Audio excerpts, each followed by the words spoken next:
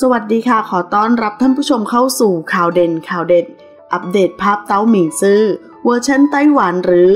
เจอร์รี เหยียนในวัย 42 ปี ต้องบอกเลยว่าคงไม่มีใครไม่รู้จักซีรีส์เรื่องที่สาวๆติดกันทั่วบ้านทั่วเมืองสำหรับซีรีส์ไต้หวันเรื่อง รักใสๆหัวใจสี่ดวง หรือ F4 เวอร์ชันไต้หวัน